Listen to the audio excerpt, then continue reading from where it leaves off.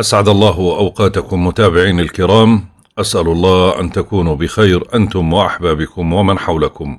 طبعا اليوم توقعاتنا ليوم السبت 2 5 القمر في الأسد ورح ينتقل للعذراء في رح يكون في أغلب الوقت في منزلة الصرفة وهي منزل للربح والضرر والخراب والإصلاح بين الشركاء وثبات الموظفين.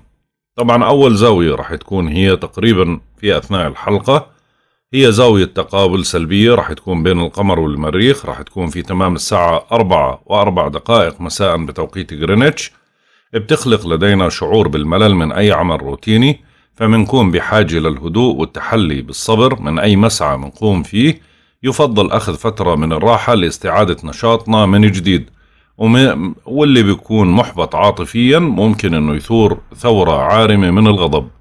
بعد هاي الزاوية مباشرة بصير خلو المسار. يعني خلو المسار راح يستمر من تمام الساعة أربعة وأربع دقائق مساء حتى تمام الساعة خمسة وخمسة وعشرين دقيقة صباحا بتوقيت غرينتش. هذا يعني أنه الفترة المذكورة لا تصلح للبدء بأي عمل جديد أو مهم مثل توقيع عقد أو خطوبة أو زواج أو شراء شيء ثمين بل إكمال العمل اللي بدأنا فيه قبل خلو المسار. وبما أنه القمر رح يستقر في العذراء الساعة 5 و25 دقيقة صباحا بتوقيت غرينتش معناته تأثير القمر رح يكون على كافة الأبراج ونعود الآن لطبيعتنا الجادة ومننتبه أكثر لصحتنا بممارسة تمارين رياضية أو البدء بحمية بتساعدنا على المحافظة على وزن مناسب منقبل على عملنا بهمة ونشاط ما منترك واردة أو شاردة بدون تفحصها منجد أنه عنصر التنظيم في عملنا بيلعب دور هام. منشعر أنه الناس شحيحون في عطائهم ماديا وعاطفيا. ممكن آه، نتفقد أنفسنا ونتوهم أمراض ما إلها أي وجود. هاي أفضل فترة للتخلص من عادة سيئة كالتدخين أو شرب الكحول. بوسعنا اقتناء حيوان أليف ومطالعة كتاب مفيد والبدء بوظيفة أو عمل جديد. طبعا في زوايا ولكن الزوايا هاي بت تصير بعد حلقة الغد فرح نذكرها بعد الغد إن شاء الله بعد حلقة الغد. القمر بما أنه رح يكون في العذراء فخلو المسار القادم رح يكون يوم أربعة خمسة رح يكون في تمام الساعة ثنتين وأربعة وعشرين دقيقة صباحا ورح يستمر حتى تمام الساعة سبعة وتسع دقائق صباحا بتوقيت غرينتش. لا ينتقل بعدها القمر لبرج الميزان. أما بالنسبة لعمر القمر القمر المربع تسع أيام في تمام الساعة تسعة وثمانية وثلاثين دقيقة صباحا بصير عمره عشر أيام. نسبة الإضاءة تقريبا خمسة وخمسين في المية. أما بالنسبة لمزاج الكواكب وطباع الكواكب لهذا اليوم الشمس في الثور حتى عشرين خمس المزاج سعيد. القمر في الأسد ورح ينتقل للعذراء حتى أربعة خمس المزاج سعيد. عطارد في الثور حتى يوم 11 خمس المزاج ممتزج. الزهرة في الجوزاء حتى 13 5 بعدين بيبدأ عملية التراجع مزاجه سعيد. المريخ في الدلو حتى 13 5 مزاجه سعيد. المشتري في الجدي حتى 14 5 وبعدين بيبدأ عملية التراجع مزاجه منتحس. زحل في الدلو حتى 11 5 وبعدين بيبدأ عملية التراجع مزاجه منتحس. أورانوس في الثور حتى 15 8 وبعدين بيبدأ عملية التراجع مزاجه ممتزج. نبتون في الحوت حتى يوم 23 6 وبعدين بيبدأ عملية التراجع. مزاجه سعيد بلوتو في الجدي بيتراجع حتى 4 10 مزاجه منتحس. وصلنا للتوقعات اليومية. برج الحمل.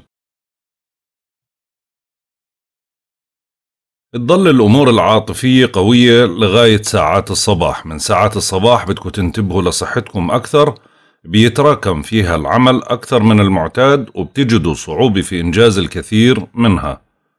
أما بالنسبة للبيت الأول فأنا شايف اليوم يعني لغاية ساعات الصباح الأمور بتكون جيدة ولكن بعد ساعات الصباح يعني شوي بصير في نوع من أنواع الاضطراب آه، على المستوى النفسي والشخصي. ممكن تكونوا عصبيين شوي أو تحتدوا شوي أو تشعروا ببعض التعب.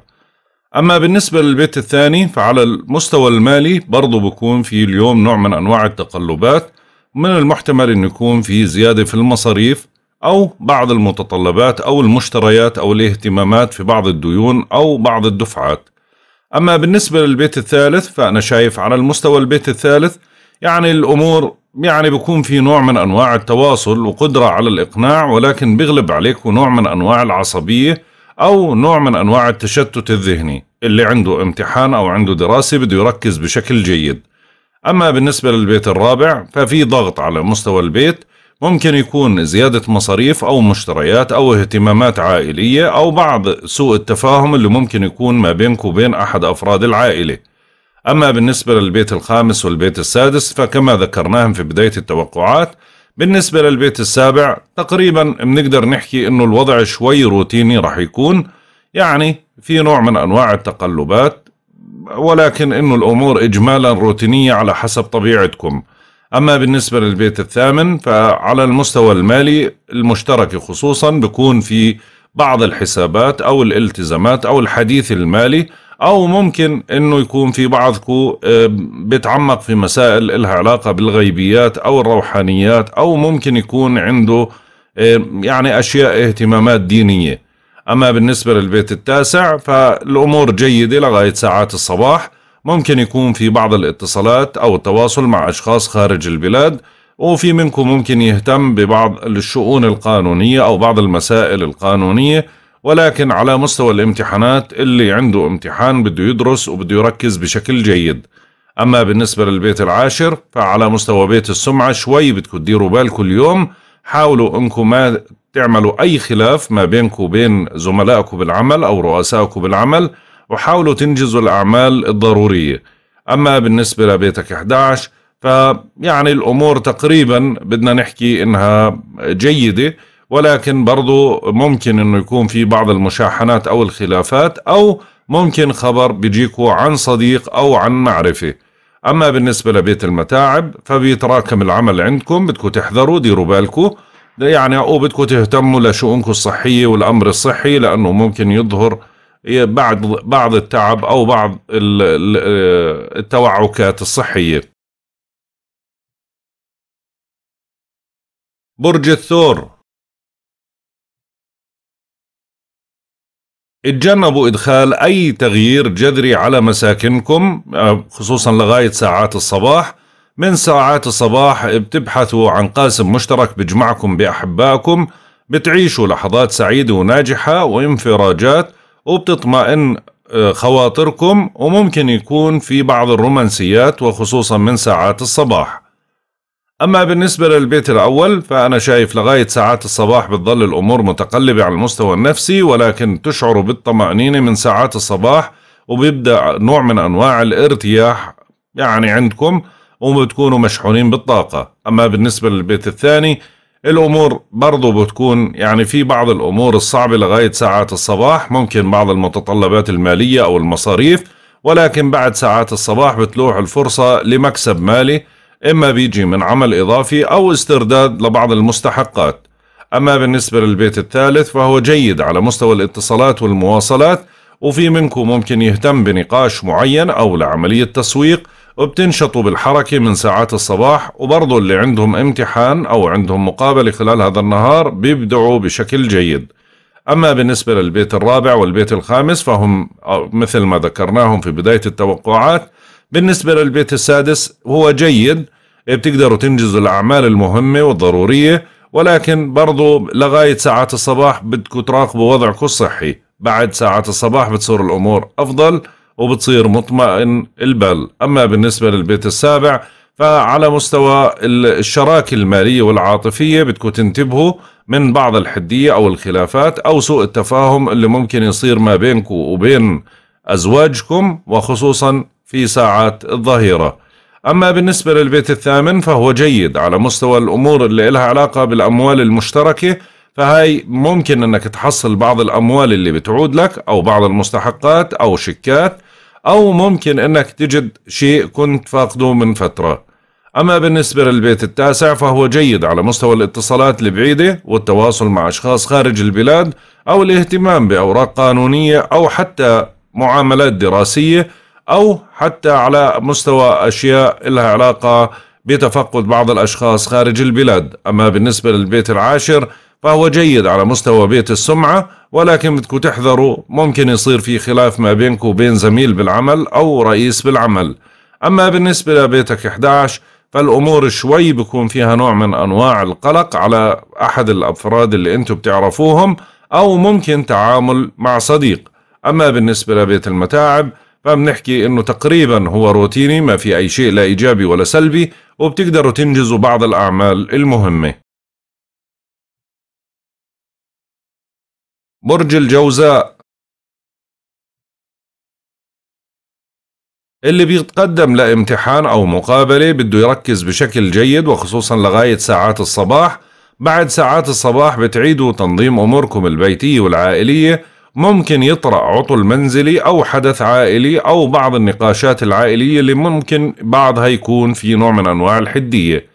أما بالنسبة للبيت الأول فأنا شايف الأمور جيدة على المستوى النفسي. صحيح أنه في تقلبات بتصير بعد ساعات الصباح ولكن إجمالا أنت مشحون بطاقة إيجابية. أما بالنسبة للبيت الثاني يعني في فرص بتلوح لبعض الأمور المالية أو حسابات مالية أو ممكن بعض الأرباح اللي ممكن تجيك من عمل إضافي وفي منكم ممكن يسترد أموال لإله ولكن بتكثر عندكم المصاريف. أما بالنسبة للبيت الثالث فهو جيد على مستوى الاتصالات مثل ما حكينا لغاية ساعات الصباح ولكن بعد ساعات الصباح بدكم تركزوا بشكل جيد. اللي عنده امتحان بده يدرس واللي عنده تحركات بالسيارة بده يهتم على الطرقات. أما بالنسبة للبيت الرابع فكما ذكرنا في بداية التوقعات بالنسبة للبيت الخامس إجمالا الأمور يعني هادية على المستوى العاطفي فمنكم ممكن إنه اليوم يعمل نوع من أنواع التقارب ما بينه وبين الحبيب أو يحل مسألة عاطفية. أما بالنسبة للبيت السادس فالأمور جيدة على مستوى العمل إلا إنه ممكن يتراكم عندكم بعض الأعمال وفي منكم ممكن يهتم بشأن صحي. أما بالنسبة للبيت السابع فالأمور جيدة على مستوى بيت الشراكة وهي تفتح لك مجالات جيدة للتقارب أو لحل مشكلة معينة.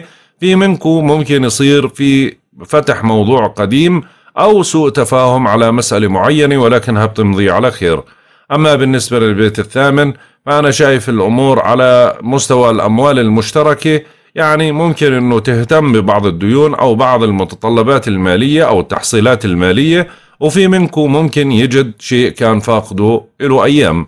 أما بالنسبة إلى البيت التاسع يعني بيفتح لك بعض المجالات للاتصالات والتواصل مع أشخاص خارج البلاد ولكن برضو ممكن إنك تحتد في مسألة لها علاقة بالتحركات أو بالسياقة يعني نوع من أنواع المغامرة بدك تدير بالك. حاول إنك برضو تهتم بشؤونك النفسية وتشحن حالك بطاقة إيجابية خصوصا إذا كان في نوع من أنواع الاتصالات مع شركات أو مؤسسات تعليمية. أما بالنسبة للبيت العاشر فأنا شايف الأمور على مستوى بيت السمعة فيها نوع من أنواع الضغط. عشان هيك بنقول لك إذا صار أي شيء اليوم يعني بيدفعك إنك تخالف القوانين حاول إنك تلتزم وما تخالف القوانين قدر الإمكان. حاول تتعاون أنت وزملائك بالعمل أو رؤسائك بالعمل لإنجاز بعض الأعمال المهمة. أما بالنسبة لبيتك 11 يعني الأمور تقريبا بنحكي إنها جيدة على مستوى الأصدقاء. إلا إنه ممكن يصير في تعاون أو اتصال أو بعض يعني تلجأ لاستشاره معينة لبعض الأصدقاء وفي منكم ممكن يقلق على آه، صحة أو وضع صديق. أما بالنسبة لبيت المتاعب فبتقدروا اليوم تنجزوا بعض الأعمال المهمة ولكن برضو بدك تحاول أنك تأخذ قسط كافي من الراحة وتهتم لصحتك. برج السرطان. اتجنبوا شراء أي حاجية ثمينة حتى ساعات الصباح وبدكم تنتبهوا على ميزانيتكم. من ساعات الصباح بتنشطوا في أمور إلها علاقة بالسفر أو بالاتصالات أو بالتحركات. اللي عنده امتحان بده يدرس ويركز بشكل جيد وبدكم تكونوا أكثر وعي على الطرقات. أما بالنسبة للبيت الأول فأنا شايف الأمور تقريبا جيد اليوم. أنتم مشحونين بطاقة جيدة نفسيتكم مرتاحة أكثر. في عندكم برضو اهتمام بال إما بالتجميل أو بأشياء لها علاقة بالمظهر. أما بالنسبة للبيت الثاني والبيت الثالث فكما ذكرناهم في بداية التوقعات بالنسبة للبيت الرابع هو جيد على مستوى العلاقات العائلية أو المسائل العائلية والبيتية. ممكن تهتموا اليوم في بعض المسائل اللي لها علاقة بترتيبات أو التزامات منزلية أو إصلاح أشياء ممكن يكون فيها بعض الأعطال. وفي نوع من أنواع التعامل راح يكون مع العائلة يعني ممكن رأيك يكون بيعمل نوع من أنواع التقارب. أما بالنسبة للبيت الخامس على المستوى العاطفي من ساعات الصباح تتأجج عندك العواطف أكثر ومنكم ممكن أنه يحن لصديق أو يتذكر شيء بعلاقة قديمة أو ممكن أنه يحاول يطمئن على صحة حبيب. أما بالنسبة للبيت السادس فاليوم متقلب على مستوى العمل فعشان هيك ممكن يتراكم بعض الأعمال عندكم وممكن بعضكم يصير عنده نوع من أنواع الحدية بالتعامل مع زميل وبرضه بدكم تنتبهوا لوضعكم الصحي. أما بالنسبة للبيت السابع فهو روتيني تماما على مستوى بيت الشراكة الشراكة المالية والعاطفية فبتتعاملوا مع الأزواج على حسب طبيعتكم.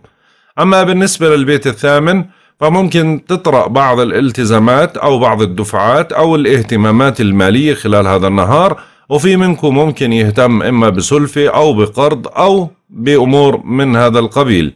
أما بالنسبة للبيت التاسع فبدكم تديروا بالكم أثناء التواصل أو الاتصالات الخارجية. ممكن تحتدوا بسبب خبر ممكن يجيكم من الخارج.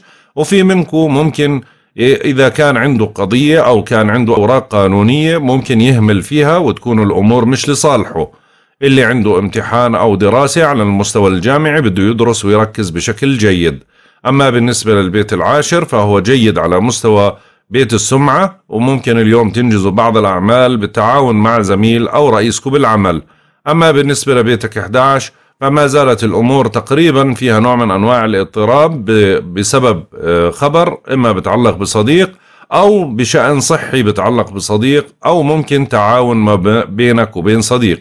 أما بالنسبة لبيت المتاعب فهو جيد اليوم تقدر تنجز بعض الأعمال المهمة وفي منكم ممكن يهتم بشأن صحي أو في أمور إلها علاقة بالمكملات الغذائية. برج الأسد.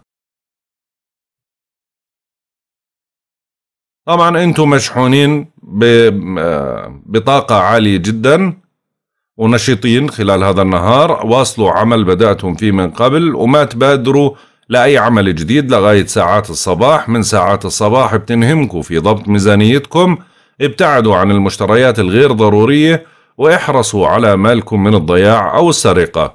طبعا القمر موجود في البيت الأول وفي البيت الثاني أما بالنسبة للبيت الثالث فأنا شايف الأمور اللي على مستوى التحركات والنشاط اليوم يعني بيكون روتيني ما في أي شيء لا إيجابي ولا سلبي ولكن بيغلب عليكم نوع من أنواع العصبية أو الحدية في الطباع. حاولوا أنكم تمسكوا أعصابكم قدر الإمكان واللي بتنقلوا بالسيارات بدهم ينتبهوا أثناء القيادة. حاولوا ما تعصبوا أثناء النقاشات. أما بالنسبة للبيت الرابع فأنا شايف الأمور تقريبا يعني جيدة على مستوى البيت. في نوع من أنواع التعاون أو التواصل ما بينك وبين أفراد العائلة وهذا الإشي بترك انطباع جيد ونفسيا أحسن. أما بالنسبة للبيت الخامس فأنا شايف على المستوى البيت العاطفي يعني في نوع من أنواع التقلب بالمزاج لغاية ساعات الظهر ومن ساعات الظهر بتتحسن الأمور بشكل جيد بصير في نوع من أنواع التعاون أو الاتصال أو التواصل آه، ما بينك وبين الحبيب. أما بالنسبة للبيت السادس فيعني بتقدروا تنجزوا الأعمال الضرورية خلال هذا النهار. ممكن تهتموا لبعض الأعمال بالتعاون مع زملاء أو رؤسائكم بالعمل وفي منكم ممكن يهتم لإشي له علاقة بالعمل تطوير أو بحث في مسألة جديدة أو تجديد في العمل وفي منكم ممكن يهتم بشأن صحي. أما بالنسبة للبيت السابع على مستوى بيت الشراكة شوي بدكم تديروا بالكم من الحدية والعصبية أثناء التعامل مع الأزواج وسوء التفاهم. حاولوا قدر الإمكان ما تعصبوا وخلوا في نقطة تلاقي ما بينكم وبينهم. أما بالنسبة للبيت الثامن فيعني الأمور تقريبا بنقدر نحكي جيدة على مستوى الأمور المالية. إلا أنه ممكن يظهر بعض المصاريف أو الالتزامات المالية. وحاولوا انكم تديروا بالكم على مقتنياتكم من السرقة أو الضياع. أما بالنسبة للبيت التاسع فهو جيد على مستوى الاتصالات الخارجية والتواصل مع أشخاص خارج البلاد. وفي منكم ممكن يهتم بأوراق قانونية أو بعض المسائل الفكرية أو العلمية. أما بالنسبة لبيتك العاشر فيعني بيت السمعة شوي متقلب خلال هذا النهار فبنقول لك دير بالك إنك تخالف القوانين أو تدخل بأي شيء مشبوه وحاول إنك تركز بشكل جيد وما تتأخر عن دوامك في العمل. أما بالنسبة لبيتك 11 على مستوى العلاقات العامة برضو في نوع من أنواع التقابل اليوم ما بينك وبين بعض الأشخاص ممكن اتصالات وممكن دعوة لحضور مناسبة مثلا أو لعزومة إفطار أو لتلاقي أو تقابل وفي منكم ممكن يهتم بشأن صديق. أما بالنسبة لبيت المتاعب فالأمور متقلبة. عشان هيك بنقول لكم انجزوا الأعمال الضرورية والمهمة حاول تراقب وضعك الصحي وحاول تأخذ قسط كافي من الراحة. برج العذراء. طبعا كل التعب اللي أنتم بتشعروا فيه أو التراجع هذا اللي كان في الصحة أو بعض التقلبات النفسية اللي كانت خلال الأيام الماضية مع اقتراب ساعات الصباح يعني بتمتلئوا بعض الشيء بنشاط وحيوية بتقلب بعض الخيارات أو التوجهات لا تناسب وضعك الحالي. بتتمتع بالقدرة على قلب المعطيات لصالحك برضه وفي منكم رح يهتم بأمور إلها بالطابع النفسي أو الشخصي. أما بالنسبة للبيت الثاني فأنا شايف الأمور جيدة خلال هذا النهار. يعني ممكن تفتح لك بعض المجالات اللي إلها علاقة بالأمور المالية ولكن بدك تدير بالك من المصاريف الزيادة أما بالنسبة للبيت الثالث على مستوى التحركات والنشاط اليوم بدك تدير بالك من العصبية وبرضه بدك تنتبه أثناء القيادة من الحوادث أو من المغامرات الغير مدروسة واللي عنده امتحان بده يدرس بشكل جيد.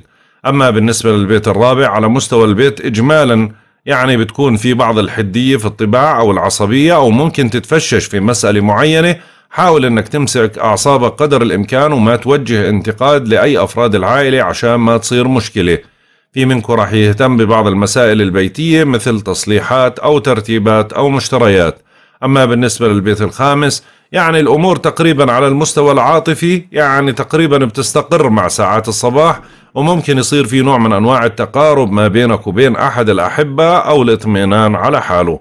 أما بالنسبة للبيت السادس فاليوم ممكن يتراكم عندك بعض الأعمال وممكن برضو تهتم بشأن صحي. أما بالنسبة للبيت السابع بيت الشراكة المالية والعاطفية هو روتيني بتتعامل على حسب طبيعتك.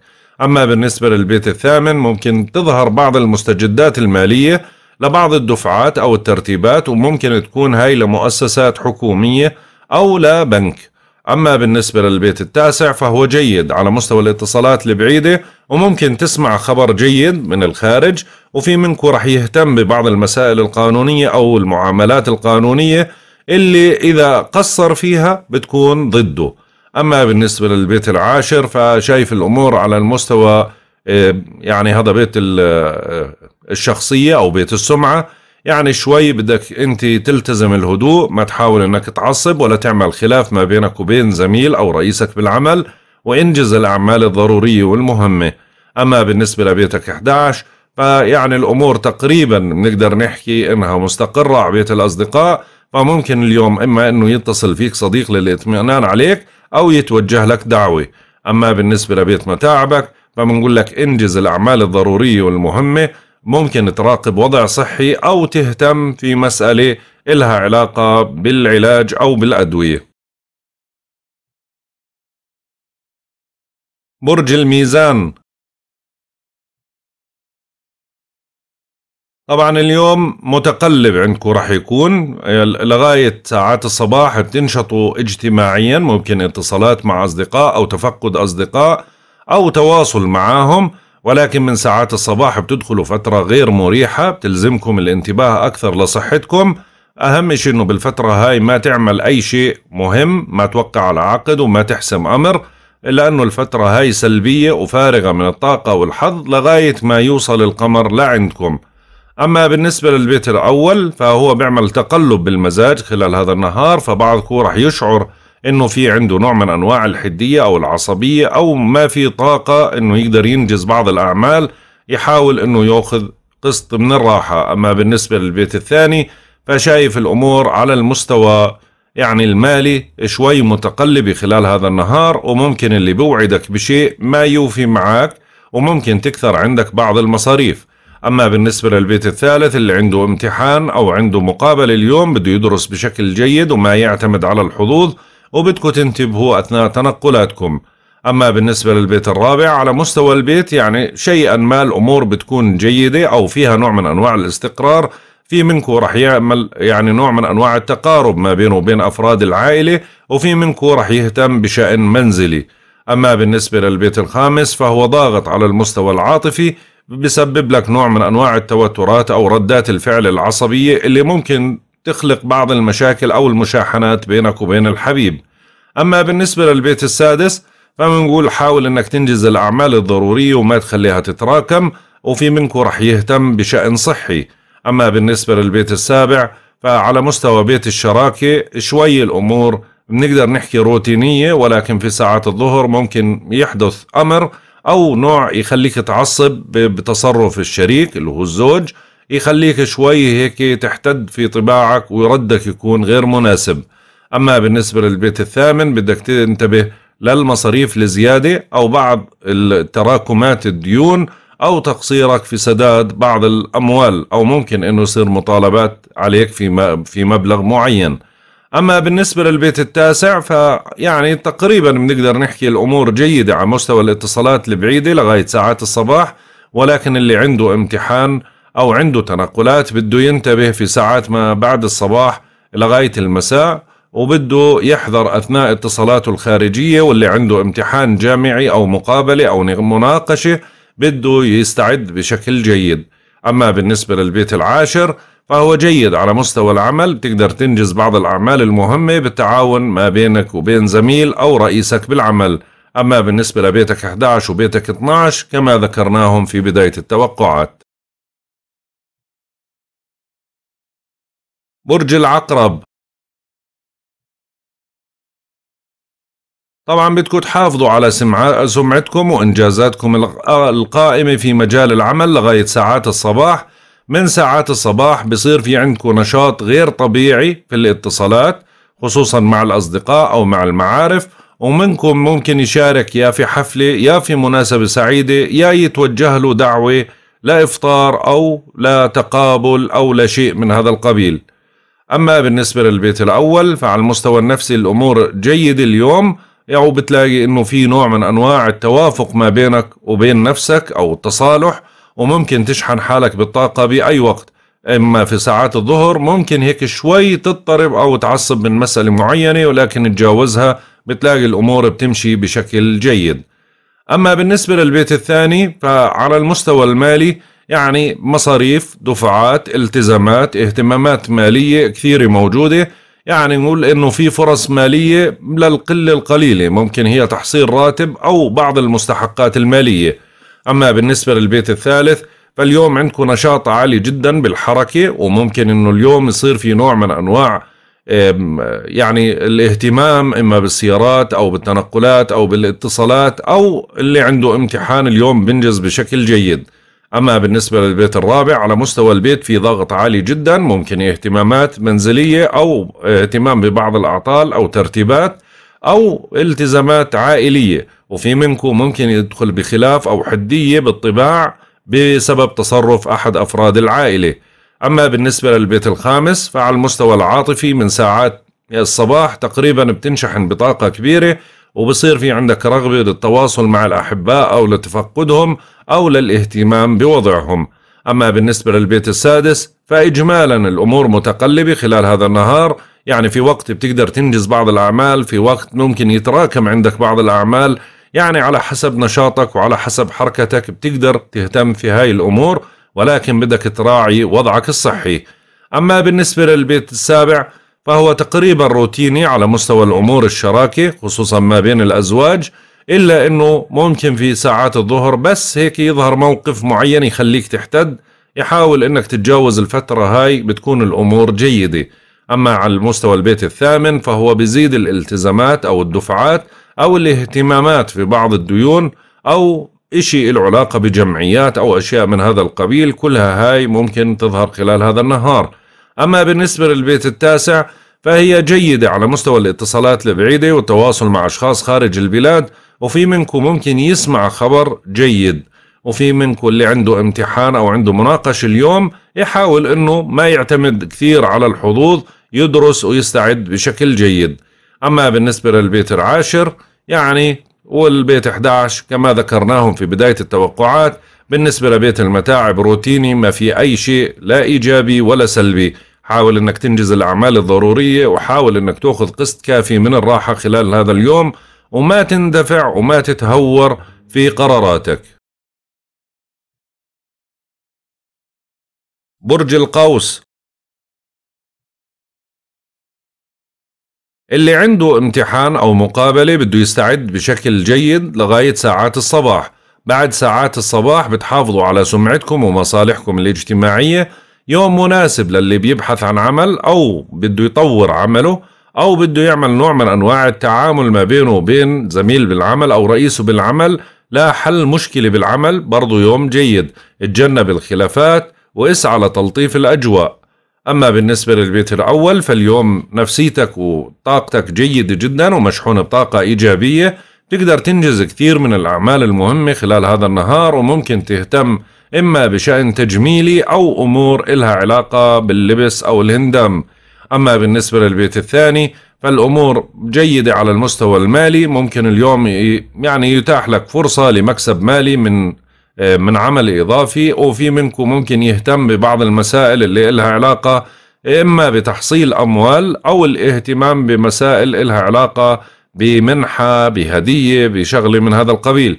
أما بالنسبة للبيت الثالث بدكم تنتبهوا اليوم اللي عنده امتحان أو عنده دراسة بده يدرس ويستعد بشكل جيد. أثناء تنقلاتكم بدكم تنتبهوا من الحوادث. وبرضه بدك تهتم بأسلوب النقاش تاعك ممكن اليوم يكون حاد شوي. أما بالنسبة للبيت الرابع فهو روتيني تماما على مستوى البيت. ما في إيجابي ولا سلبي على طبيعتك بتتعامل على مستوى البيت. أما بالنسبة للبيت الخامس فهو جيد على مستوى العواطف فممكن اليوم إما أنك أنت تبادر للاتصال بالحبيب أو الاطمئنان عليه أو حتى تعمل نوع من أنواع التراجع عن قرار اتخذته لأجل أنك تعمل تقابل أو تقارب ما بينك وبين الحبيب. أما بالنسبة لبيتك السادس فهو متقلب على مستوى بيت العمل فممكن اليوم أنه تتكاسل في بعض الأمور العملية أو ممكن أنك تهتم بشأن صحي لا إلك أما بالنسبة للبيت السابع فعلى مستوى بيت الشراكة إجمالا الأمور جيدة. ممكن يصير في نوع من أنواع التقارب ما بينك وبين الزوج أو الزوجة. ممكن تحلوا مشكلة معينة أو ممكن تتناقشوا في مسألة بتتعلق فيكم. بس ديروا بالكم من العصبية. أما بالنسبة للبيت الثامن الاهتمامات بالدفعات والقروض والالتزامات المالية ممكن تظهر عند البعض اليوم ولكن إجمالا هو للأغلب روتيني. ما في لا إيجابي ولا سلبي. أما بالنسبة للبيت التاسع والبيت العاشر كما ذكرناهم في بداية التوقعات بالنسبة لبيتك 11 يعني ممكن يعطيك شوية مجالات للتواصل مع بعض الأصدقاء أو الاطمئنان عليهم أو ممكن يصير في نوع من أنواع التعاون أو الزيارات. أما بالنسبة لبيت المتاعب فأنا شايف الأمور على مستوى بيت المتاعب شوي بتكون ضاغطة عليك في لغاية ساعات الصباح ولكن بعد ساعات الصباح بتصير بتصير إيجابية ممكن تنجزوا بعض الأعمال الضرورية أو تهتموا بصحتكم أو ممكن بعض الأدوية أو مراجعة طبيب برج الجدي. اليوم بدكم تتفحصوا حساباتكم المالية وبدكم تحذروا من أي خطوة مالية جديدة لغاية ساعات الصباح.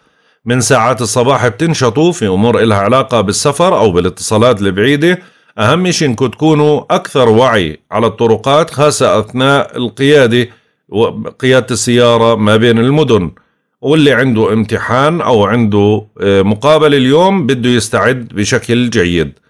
أما بالنسبة للبيت الأول فأنا شايف اليوم طاقتك تقريبا من الصباح بتنشحن بطاقة إيجابية عالية جدا. بتقدر اليوم تنجز كثير من المهام. أو المعاملات وبرضه بتكون سعيد ومبسوط. أما بالنسبة للبيت الثاني فأنا شايف الأمور المالية اليوم برضه مقلقة يعني ممكن تهتم ببعض الدفعات أو الالتزامات المالية أو شأن مالي معين وفي منكم ممكن تكثر عنده المصاريف.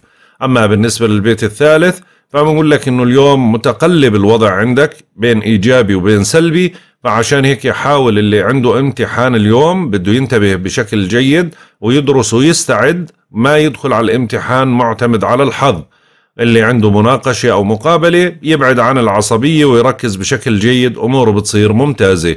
أما بالنسبة للبيت الرابع على مستوى البيت ممكن تظهر بعض الخلافات في ساعات الظهر ولكن تقريبا الأمور إيجابية بتقدر تتجاوزها. في منكم ممكن يهتم بشأن بيتي أو عائلي أو بعض التصليحات أو المشتريات الالتزامات البيتية. أما بالنسبة للبيت الخامس فهو جيد على المستوى العاطفي فبيدعمك من ساعات الصباح للتواصل مع الحبيب أو للاطمئنان عليه وفي منكم ممكن يسمع خبر إيجابي وجيد. أما بالنسبة للبيت السادس فهو جيد على مستوى بيت العمل تقدروا تنجزوا بعض الأعمال المطلوبة منكم أو تهتموا في بعض الأعمال أو تطويرها أو ممكن تهتموا بشأن صحي. أما بالنسبة للبيت السابع فأنا شايفه روتيني تماما على مستوى بيت الشراك المالي والعاطفي وما بين الأزواج فبتتعاملوا على حسب طبيعتكم وعلى حسب طبيعة أزواجكم. أما بالنسبة للبيت الثامن والبيت التاسع كما ذكرناهم في بداية التوقعات بالنسبة للبيت العاشر يعني بيت السمعة إجمالا تقريبا جيد تقدروا تنجزوا الأعمال الضرورية والمهمة بالتعاون مع زميل أو مع رئيسكم بالعمل وفي منكم رح يهتم بشأن بتعلق بسمعته.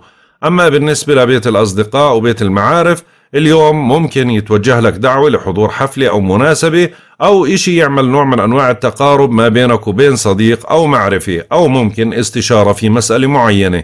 أما بالنسبة لبيت المتاعب فهو جيد برضو على مستوى بيت المتاعب لغاية ساعات الصبح ولكن بعد الصباح بتصير في نوع من أنواع الاضطرابات عندك. حاول أنك تنجز الأعمال الضرورية وحاول أنك تهتم بصحتك بشكل جيد وما تغامر بشيء أنت مش مستعد له. برج الدلو. بيتركز اهتمامكم حول موضوع الشراكة ما تل يعني ما تلزموا أو تلتزموا اتجاه الطرف الآخر بدون ما تكونوا أنتم يد الالتزام. طبعا هذا لغاية ساعات الصباح. بعد ساعات الصباح بتعيدوا تنظيم أموركم المالية المشتركة. انجز الواجبات بدقة حتى لو كثرت. حاول تنفيذها دون تردد وما تلتهي بالأمور الثانوية. أما بالنسبة للبيت الأول فمنلاقي إنه في تقلب. اليوم عندك لغاية ساعات الصباح بتكون مضغوط. أو عندك نوع من أنواع الحدية أو فقدان للطاقة ولكن بعد ساعات الصباح بتلاقي حالك انشحنت شوي بطاقة إيجابية بتدعم من وضعك وبرضه بتقدر تنجز كثير من المهام. أما بالنسبة للبيت الثاني على المستوى المالي شوي في نوع من أنواع التقلبات أو الاهتمامات المالية ممكن التزامات أو مصاريف أو دفعات وفي منكم قلة قليلة ممكن يحصلوا على بعض الأمور المالية اللي بتيجي يا من عمل إضافي يا نوع من أنواع الدعم. أما بالنسبة للبيت الثالث فهي جيدة على مستوى الاتصالات والمواصلات ولكن في نوع من أنواع الحدية ممكن تغلب عليكم خلال هذا النهار. حاول إنك تنجز الأعمال الضرورية بدون عصبية اللي عنده امتحان أو عنده مقابلة أو مناقشة بده يستعد بشكل جيد. أما بالنسبة للبيت الرابع على مستوى البيت في نوع من أنواع التوتر بين أفراد العائلة أو اهتمامات بأعطال أو صيانات أو ترتيبات منزلية وفي منكم رح ينجز منها أشياء كثيرة. حاول إنك تشحن حالك بطاقة إيجابية عشان تعمل نوع من أنواع التقارب ما بينك وبين أفراد العائلة. أما بالنسبة للبيت الخامس يعني الوضع العاطفي إجمالا متقلب خلال هذا النهار فحاول أنك تشحن حالك بطاقة إيجابية عشان يصير في تقارب عاطفي ما تسبب لا يعني ما تخلي العصبية إنها تضغط عليك وتعمل نوع من أنواع الخلافات ما بينك وبين الحبيب. أما بالنسبة للبيت السادس على مستوى بيت العمل يعني ممكن تنجز بعض الأعمال المهمة اليوم بالتعاون مع زميل أو رئيسك بالعمل أو مع أحد الأفراد وفي منكم ممكن يهتم بشأن صحي. أما بالنسبة للبيت السابع يعني والبيت الثامن كما ذكرناهم في بداية التوقعات بالنسبة للبيت التاسع يعني في بعض الاتصالات الخارجية مش كثير راح تكون ولكن اللي عنده امتحان جامعي أو عنده اهتمام بالتنقلات والاتصالات بده ينتبه بده يأخذ حذره وبإذا امتحانات بده يدرس بشكل جيد في منكم راح يهتم بأوراق قانونية أو معاملات قانونية. أما بالنسبة لبيتك العاشر بيت السمعة يعني بساعات الصباح لغاية ساعات الصباح الأمور جيدة ولكن بعد ساعات الصباح حاول أنك ما تخوض في أي مسألة ممكن يكون فيها مخالفة قانونية أو إشي يشوه سمعتك. أما بالنسبة لبيتك 11 بيت الأصدقاء والمعارف فهو روتيني تماما. ممكن يصير في نوع من أنواع التعامل أو الاتصال في بعض الأصدقاء إما لتفقدهم أو للاطمئنان عليهم ولكن ما في أي شيء خطر. أما بالنسبة لبيت متاعبك فهو جيد بيشحنك بطاقة إيجابية ممكن تنجز بعض الأعمال المهمة اليوم وفي منكم رح يهتم بشأن صحي أو أدوية أو آه، أدوية شهرية أو أشياء من هذا القبيل. برج الحوت. واصلوا عملكم السابق وانتبهوا لصحتكم. أما في ساعات الصباح بترغبوا في تعزيز شراكتكم كونوا أكثر تفهما لوجهة نظرهم أو يعني جهة وجهة نظر الطرف الآخر اللي هو الشريك وحاذر من الخلافات وما تضخم الأمور كثير. طبعا القمر الآن بده ينتقل مقابلك تماما فعشان هيك بتكون طاقتك ضعيفة خلال هذا اليوم. على المستوى البيت الأول حاول تشحن حالك بطاقة إيجابية وما تستسلم برضو لأي استفزازات خلال هذا النهار. أما بالنسبة للبيت الثاني يعني ممكن اليوم يصير عليك بعض المتطلبات المالية أو المصاريف أو الالتزامات وفي منكم ممكن إنه يكون عنده اهتمامات مالية أو مشتريات. أما بالنسبة للبيت الثالث فأنا شايف الأمور برضو اللي عنده امتحان أو عنده مقابلة خلال هذا النهار أو تنقلات بده ينتبه وما يعتمد على الحظ وبده يدرس ويستعد بشكل جيد. أما بالنسبة للبيت الرابع تقريبا في نوع من أنواع الضغط أو سوء التفاهم على مستوى البيت هذا بشكل نوع من أنواع العصبية. ممكن بعض الأعطال أو الاهتمام ببعض الالتزامات العائلية وممكن خلاف ما بينك وبين أحد أفراد العائلة. أما بالنسبة للبيت الخامس فهو جيد على المستوى العاطفي يعني شوي بشحنك بطاقة إيجابية خلال هذا النهار وخصوصا من ساعات الصباح. بتلاقي عواطفك صارت جياشة وممكن يصير في تقارب ما بينك وبين الحبيب. أما بالنسبة للبيت السادس والبيت السابع فكما ذكرناهم في بداية التوقعات بالنسبة للبيت الثامن الأمور المالية أو الالتزامات المالية أو الدفعات المالية أو الاستحقاقات المالية هاي اللي بتأخذ اهتمامك خلال هذا النهار. أما فرص لجلب المال فالوضع ضعيف أو لقلة منكم على حسب طالعه. أما بالنسبة للبيت التاسع فهو جيد على مستوى الاتصالات البعيدة والاهتمام بأشخاص خارج البلاد أو في منكم اللي عنده امتحان أو مقابل اليوم بنجز بشكل جيد. أهم إشي إنه اللي عنده أوراق قانونية أو معاملات قانونية بده يستعد بشكل جيد لإلها أما بالنسبة للبيت العاشر بيت السمعة جيد مشحون بطاقة كبيرة وهذا الإشي بخليك تحافظ على سمعتك. أهم إشي إنك ما تجازف وما تغامر بأمور مشبوهة. وممكن يصير في نوع من أنواع التعامل ما بينك وبين زميل في العمل أو رئيسك بالعمل. أما بالنسبة لبيتك 11 بيعمل نوع من أنواع التقارب ما بينك وبين أحد الأصدقاء إلا أنه ممكن بعضكم يعني يحتد بسبب فضول صديق أو أنه صديق بيحاول يفرض رأيه عليه ممكن يستفزه بهذا الباب. ما يتجاوب مع هاي المسألة بتمشي الأمور جيدة. أما بالنسبة لبيتك 12 فالأمور تقريبا بنقدر نحكي جيدة على المستوى بيت المتاعب. ممكن اليوم تنجز بعض الأعمال المهمة وفي منكم رح يأخذ قسط كافي من الراحة خلال هذا النهار أو أنه يكون عنده رغبة بأنه يعني يرتاح. وفي منكم رح يهتم ببعض الأمور اللي لها علاقة إما بالأعشاب أو بالمكملات الغذائية أو بأدويته الشهرية هيك بنكون انتهينا من توقعاتنا لهذا اليوم. والله أعلم. يا رضا الله ورضا الوالدين سبحانك اللهم وبحمدك أشهد أن لا إله إلا أنت أستغفرك وأتوب إليك. أترككم في رعاية الله وحفظه. إلى اللقاء.